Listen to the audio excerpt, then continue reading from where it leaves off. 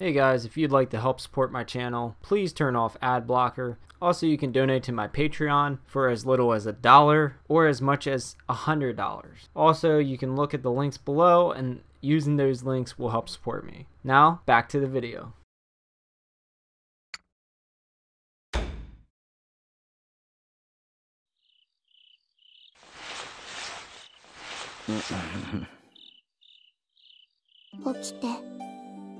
主様夜分遅く申し訳ありません。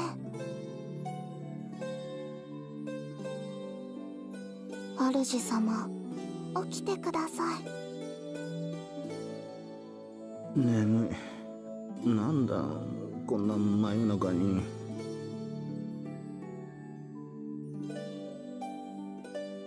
あえあ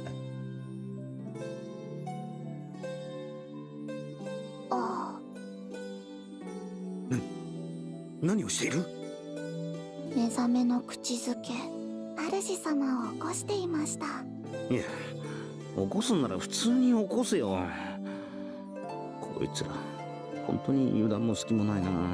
しかし布団に潜り込んでいることはもう諦めたがさすがにこの格好にはなれん。この分だといつかうっかり寝ぼけて何か大変なことをやらかしてしまいそうだ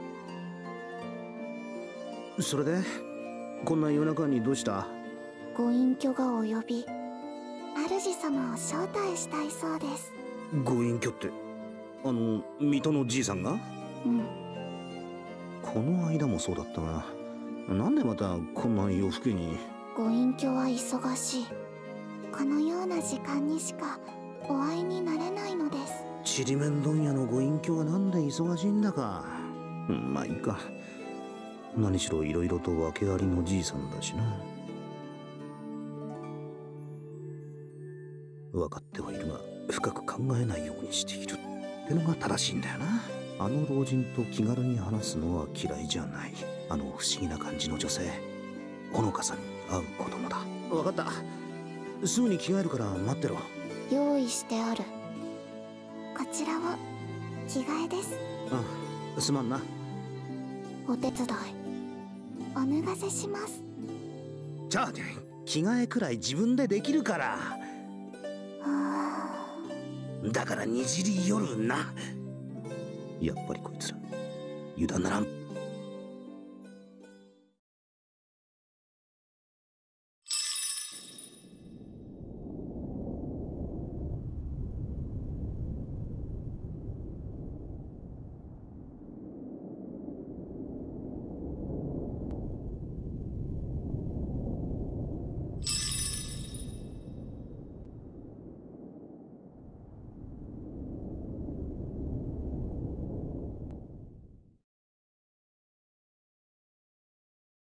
よく来てくれたな客人。こんな時間にお呼びして申し訳ありません。ご迷惑ではありませんか？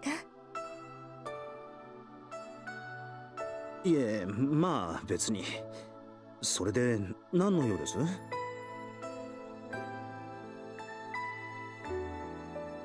うん特に用事があるわけではないのだが良い酒と魚が手に入ってなこの間の礼をと思いそなたを招いてみたのだ。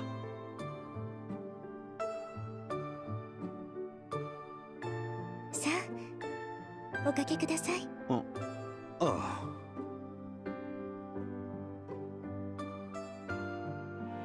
遠慮なくやってくれ酒はいくらでもあるからな。どうぞ。食べて主様。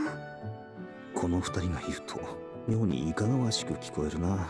まあいいお言葉に甘えてありがたくいただくとしよう。ただ酒だからな。細かいことは考えずに飲むか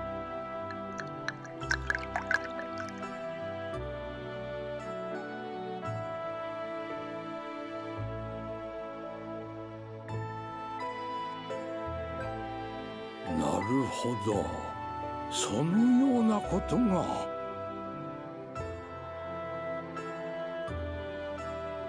は大変でしたね。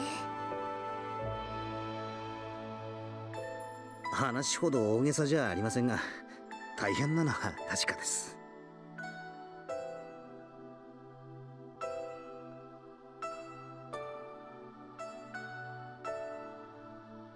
お水どうぞ酔いさましですああすまんいかんただ酒だからって調子に乗って飲みすぎた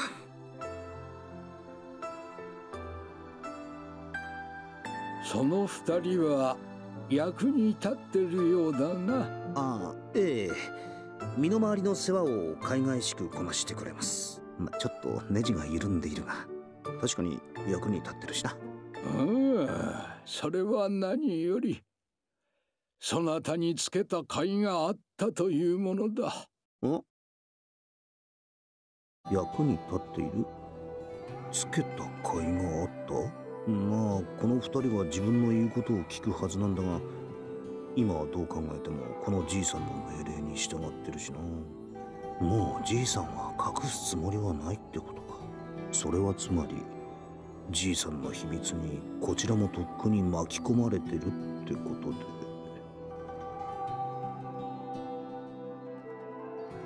うーん。いろいろとまずいことをベラベラ言った気がする。どうかしたかね？ねえ別に。今まで通り何も気づかなかったことにしよう。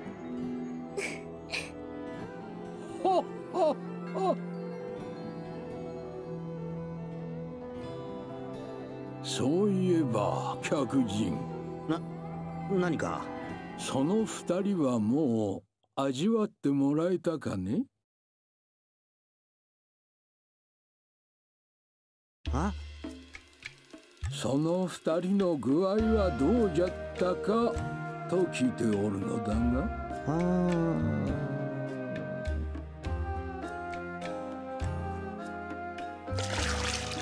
あちゃあち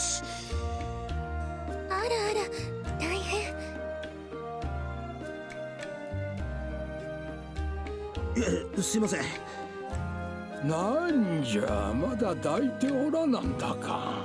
いやダクってんな白様この子たちではご不満ですか？あいやそんなことはってあなたまで何言ってるんです。確かに身請けっぽいことしましたがだからって手を出していい理由にはならんでしょうに。相手の気持ちを尊重してというか。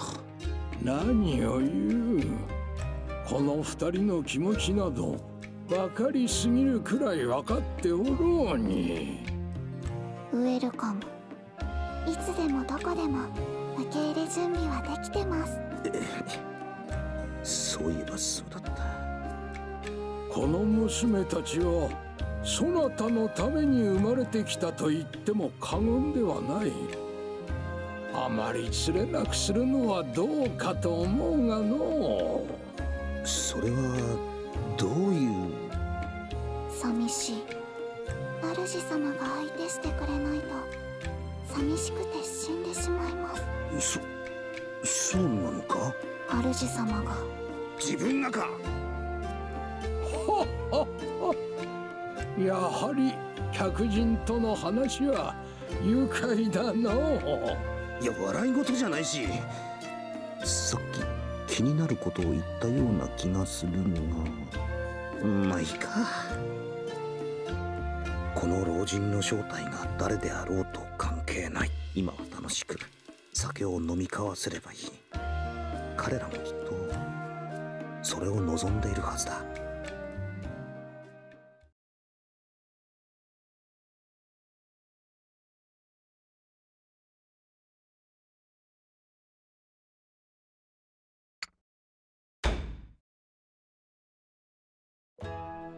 みんなよく来てくれた？うまい酒が飲めると聞いて山頂屋へ。ああたい様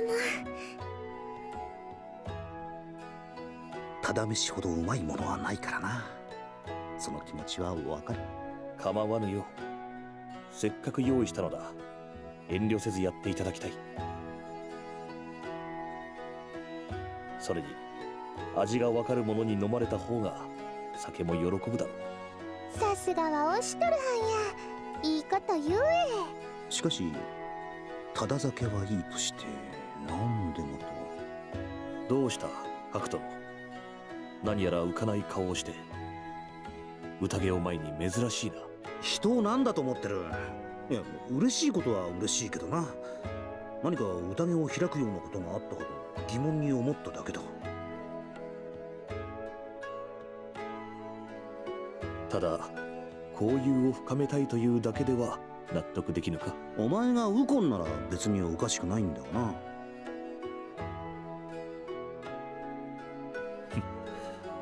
相変わらず鋭い男よな。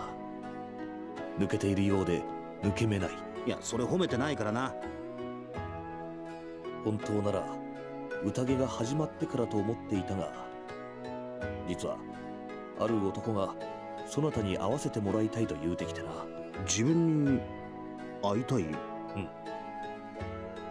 あの様子。そなたに興味津々といった感じであったな。なんだと？男が興味津々だと？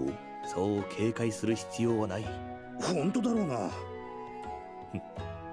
だが奴の気持ちもわからんではないそなたはなかなかどうして人を引きつける何かを持っている故に期待してしまうのだよ。男にんなこと言われてもあまり嬉しくないんだがおお白殿会いたかったでおじゃるよ。マロ？なんでお前までここに？まさか会いたがってるというのは。もちろんマロもオシトル殿に招かれたからでおじゃる。あ考えてみればオシトルの関係者が集まっているんだ。マロがいてもおかしくないか。なんでそこに座る？もちろん白殿にお酌をするためでおじゃるよ。なんで照れる？尺ならこっちよりオシトルにするべきだろうに。なのでおじゃるが家の事情でオシトル殿に気を使わせてしまうでおじゃるから。家の事情？あ確かどっかのお偉いさんに仕えることになったと言ってたあれか。そいつがやたらとオシトルを敵視しているとか。でおじゃる。前にも家の事情でどうのこうのという話を聞いた覚えはあるが見かけによらず複雑な家庭みたいだな。さて本日の主品を紹介しよお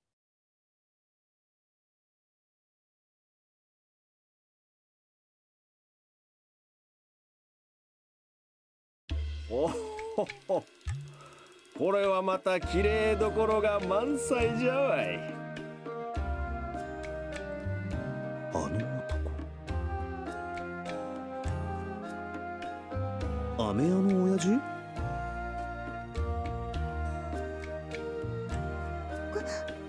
こんにちはサコンさんいつもお世話になってますサコンのおじさんやあの飴屋サコンって名前だったのか。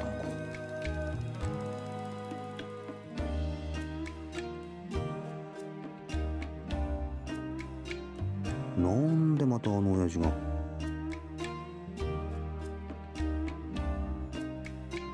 この男はそれがしにとって書くことのできぬ者の一人。この男なくしてそれがしのお役目は成り立たぬ。お役目？なあ表に裏にな。表に裏に？でつまりオシトルとウコン両方の顔を知っているということか。まさか。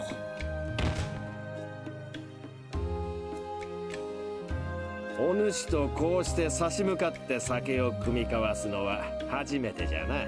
なんであんたがここに？はあ何をボケたことを言うとるんじゃ。わしが主催なのじゃから当たり前じゃろ。まさか会いたがってる男とはこの親父なのか？なんで自分なんかと？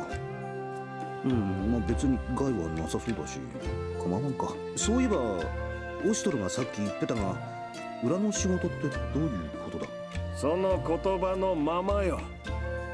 ウコンの名知らぬでもない。じゃが今日はそれとは無関係じゃ。それより大事な用があってわしはここに来た。大事な用って？お前さんじゃよ。ハクお前さんは自分が考えているより価値がある男なのじゃぞ。はあそれって一体？知れたこと。お前さんを呼べば可愛い姉ちゃんたちがついてくるのじゃからな。はこの都一のモテ男が。くー羨ましいの。どうしたんじゃい。ほうけたような顔しよってからに。わざわざそんなことのために自分を呼んだのか。バカモン。可愛い姉ちゃんたちを呼べるんじゃそんなこととは何事じゃ？いやしかし細いことをごちゃごちゃとまずは飲め。えあ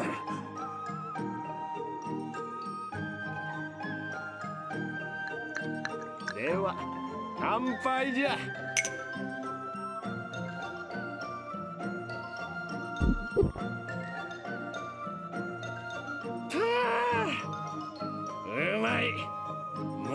もう一杯うん。俺杯が空になっておるじゃろが杯を乾かす気か？うん。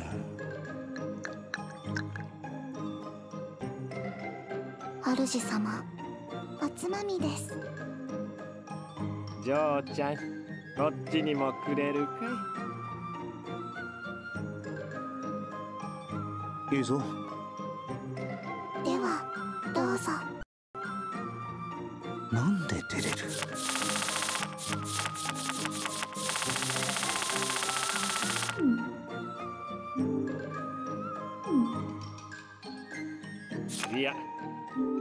かくじゃ。ん？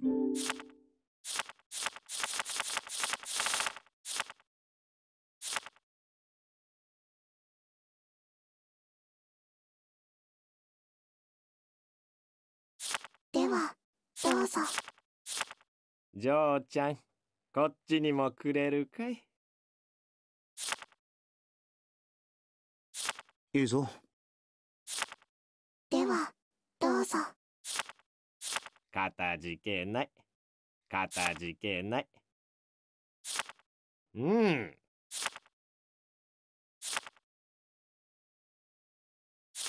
なああんた女どもと話をしてこないのか？女目当ての宴なんだろ？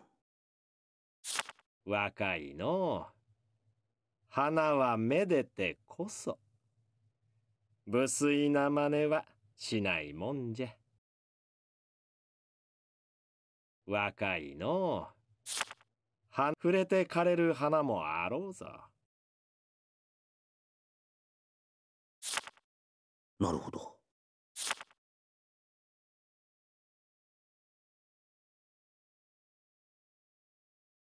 女目当てで来たように言っていたからもっとスケベ親父かと思いきや意外に水人なのか？まあ妙な男だが悪い奴ではなさそうだし何より今日の感情を持ってくれてるわけだしな。いやせっかくじゃ。ん？ん？猫ねちゃんや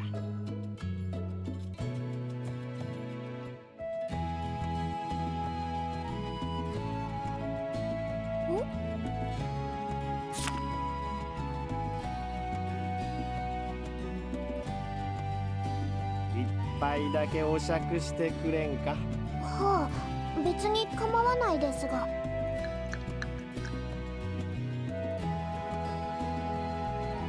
おっとっとっとっと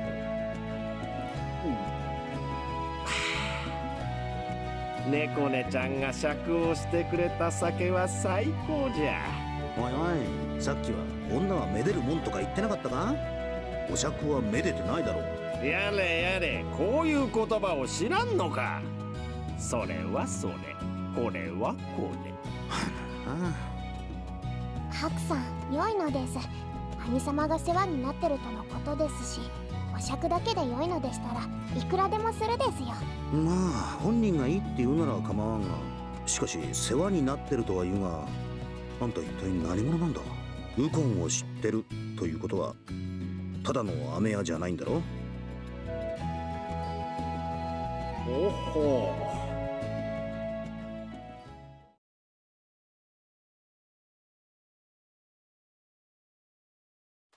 とやつとの関係か？なんだ？急に雰囲気が。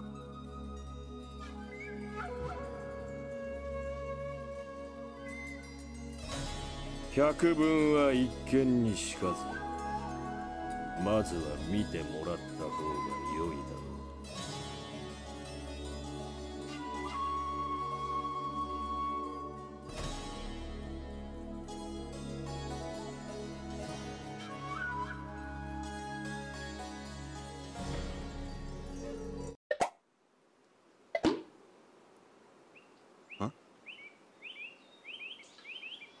わかったか？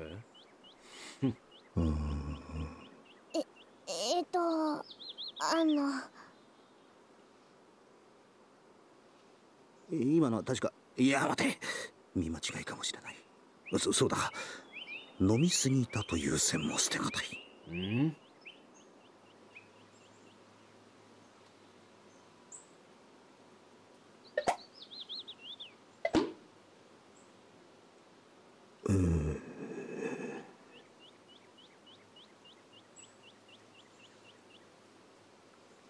ならば。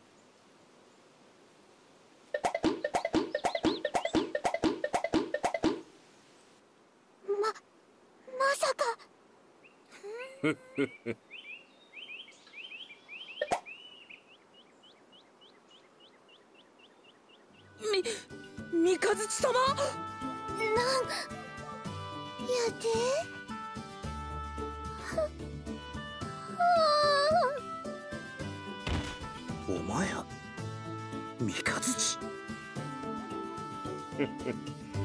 やっと気づいたか。永遠に気がつかぬかと思ったぞ。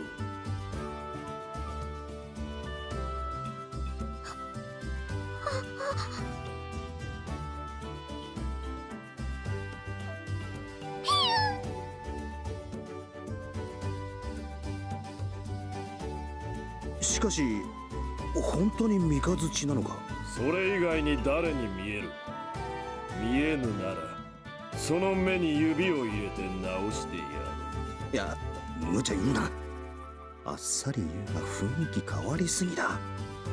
確かに分かっていれば似てる部分もあるがあの刃物のような威圧感もなければ仮面を外している状態で誰が気づくか。しかしなんでまたこんな真似を？る漫然と剣を振るうだけで兵と民を守れると思うか？この姿は民を見守るためのもの。帝都に救おうとするウジ虫どもを根こそぎ払うためのものよ。まさか雨屋のふりをして不満分子狩りをしてるのか。しかし変装するにしたって雨屋って。雨屋をしていれば世間話という形で民の汚い言葉が聞こえよ。三日月の姿では聞こえてこぬ本当の声がな。そりゃあんたに本音は言えんだろうな。そして何よりたかが雨屋と侮り己が悪事を自慢げにベラベラと喋りおる。そんな輩が正体を知った時の顔は見ものず命乞いをする時の顔は醜く不快だがな。にえ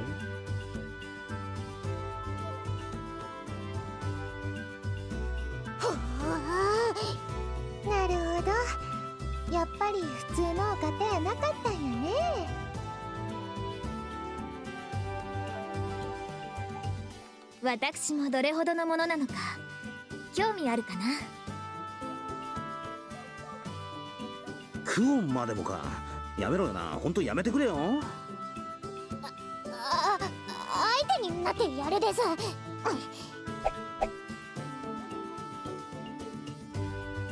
そういうのは人の背中に隠れて言うこっちゃないだろ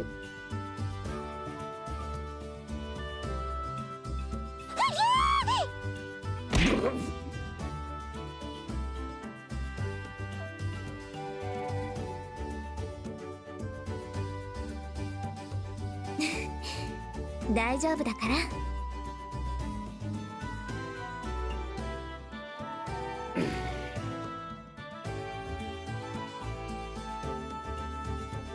さて変装してる理由は分かったがなんでそんな格好なんだ？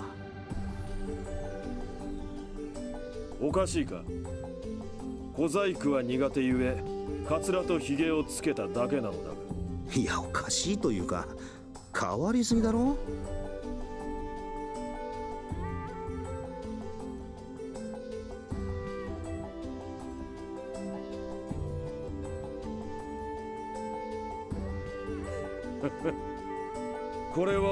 憧れの姿でな。憧れ。ハゲとヒゲが？おしとる。腕の立つクスシを紹介してやった方がいいんじゃないか？そう。幼き日のあの甘美なる思い出。幼き頃の俺はクソのようなガキだった。しかしそんなクソのようなガキに分け隔てなく接してくれたのが飴屋の親父だったのだ。その親父は飴を売り歩きながら諸国を旅していたのだがその時の話がまた奇妙でおかしくてな。そんな軽妙な話をしつつ武骨な手から生み出される芸術のような飴細工に幼き俺は心を奪われた。皆に親しまれてひょうひょうと飴を売る姿に憧れたのだ。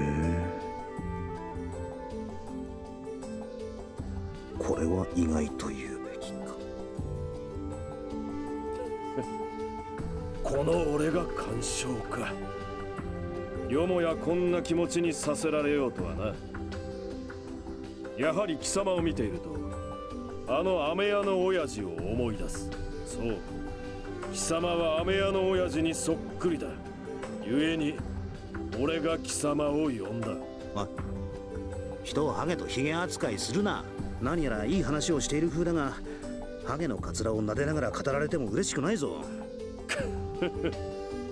果たしてそうかな？貴様これをかぶってみろ。きっと似合う。いや似合わんから絶対というかかぶらんからな。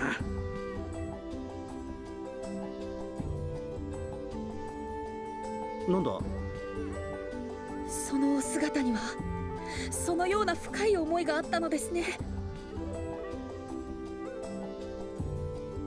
民を見守るためにそのようなお姿を。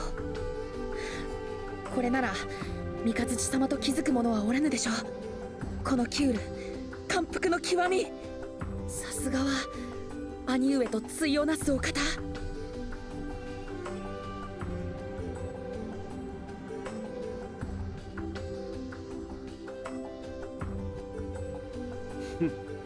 そこまで深い考えはない。面白そうだから奴の真似をしていただけのこと。やつ聞けば面白そうなことをやっていたのでな。少々偉くなりすぎて肩書きが窮屈になってきていた頃合い。ならばわしもやってみようと思ったわけじゃ。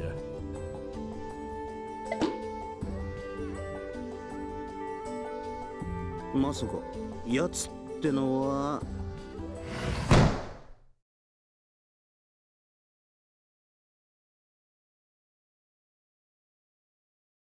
ようおめえら。待たせたな。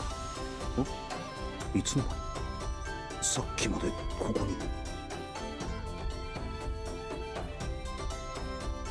やってるかいさっちゃん。やってるぜうっちゃん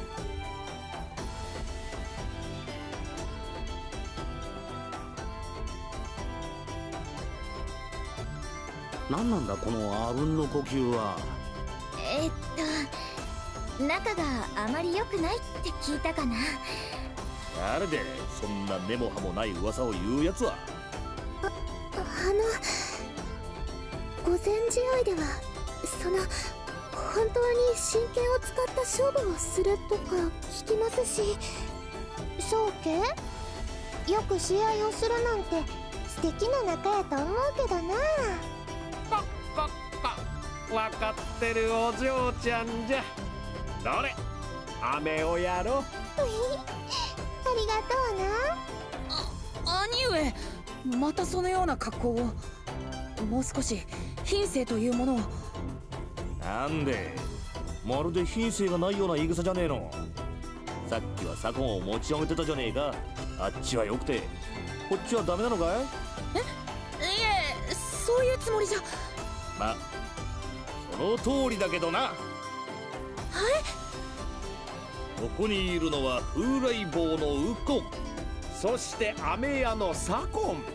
品性などクソくらえよ。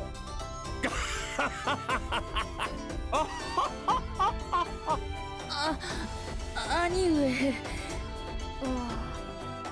猫や死んだ魚のような目してどうかしたのけ？ごめん猫ねこんな時なんて声をかけていいかわからない、はあ、ああでも男の人って少なからず子供っぽいところがあるからあまり気にしない方がいいかな。ほらパクとか見てるとよくわかるよね。ほら一緒にすんな。少年の心と言ってほしいね。まったくじゃ遊び心というやつよな。えあんちゃんお前さんは実際どう思う？どう思うって？何がだ？今のわしらじゃ。お主の目にはどう映っておる？そう言われてもまあ悪くはないか。自分も不作法な方だしきっちりかっちりしてるのは苦手だしな。あんちゃんならそう言うと思ったぜ。よし今日からハクもわしらの仲間じゃ。じゃあマロお前も仲間ってことで？堅苦しくない間柄に憧れてるんだろう？うん。よへい！ちょちょっと待ってほしいのでおじゃる。ついでにキュールも。ついでって。うちらも仲間に入っていいけ？いいぞいいぞ。どんどん入れ。それって私も入ってるのかな？た多分。ああさあいつまでも話し込んでたら料理が冷めちまう。改めて乾杯するぜ。乾杯。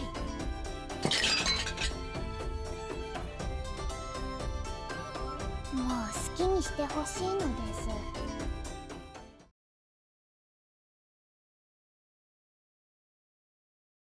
Hey guys, if you'd like to help support my channel, please turn off ad blocker. Also, you can donate to my Patreon for as little as a dollar or as much as a hundred dollars. Also, you can look at the links below and using those links will help support me.